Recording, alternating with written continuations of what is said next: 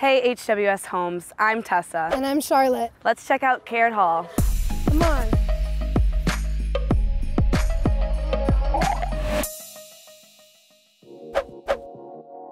On the first floor of Caird Hall, you can find a gym, a kitchen, and two pool tables. As student athletes, we love having a gym at the bottom of our dorm. Makes it very convenient to work out and also to hang out with friends. All right, y'all, we're here. As you can tell from my side of the room, I am not minimalist. I really believe in a lot of color, and my closet is even color coded as well. My getting ready space is very important to me. It's something that I use every day, and it is also home to my 20 books that I have to read this semester for my five classes that I'm taking. I leave Tessa notes sometimes, and each one of these has like an inspirational quote, so hold your head and your standards high even as people or circumstances try to pull you down. So we're definitely very big on inspiration and kind of like trying to hype each other up. My posters kind of reflect different places that I'd like to travel. I've never been to Monte Carlo, let alone to a tennis match there, but I know I would love to.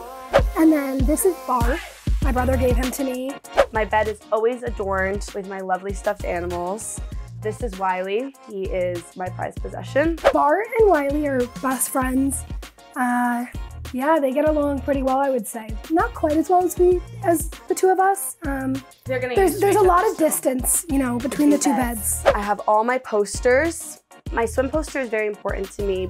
As a swimmer, it helps me keep motivated and aligned. I have this vintage William Smith poster that I got from an alum that used to swim here in the 90s that was visiting. This is my closet. Um, I have it all color coordinated.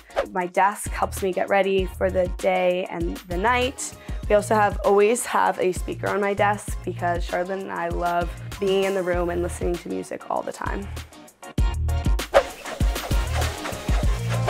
Of the best things about Caird Hall are its proximity. It's very convenient to be going from place to place here. I love the fact that you can still see the lake because of how, how high up we are on the hill and how tall these dorms are. You can still have a great view of the lake as well. Hey HWS Homes, thanks for checking out Caird Hall with us today.